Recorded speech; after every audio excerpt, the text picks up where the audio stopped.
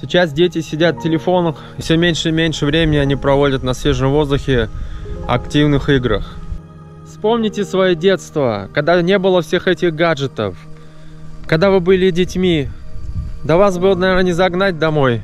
Летом мы ездили на Украину в гости к бабушке с дедушкой, и мы с местными ребятами практически весь день э, проводили на улице. Бегали по крышам гаражей, лазили по местным огородам поисках абрикос, вишни, черешни и тому подобного.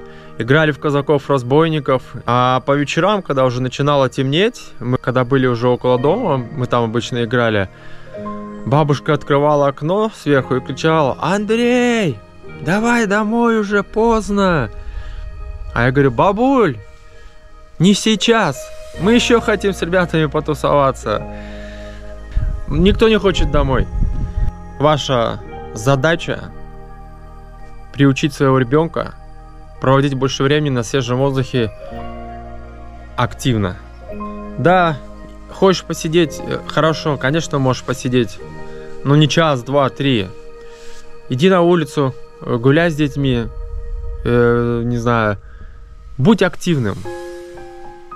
Потом скажет ребенок вам спасибо. Мы с дочерью проводим очень много времени э, на природе. И вообще просто неважно, э, там, когда есть возможности, мы бегаем, мы на велосипедах катаемся, мы ходим в походы, катаемся на сапах. Э, моя задача приучить ребенка проводить больше времени э, на природе, на свежем воздухе.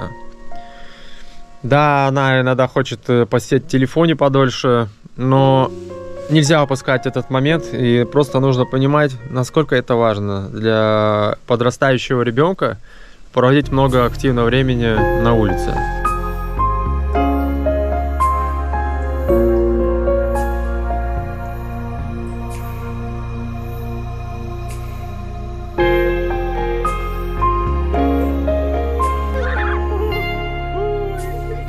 Накинул воду точно.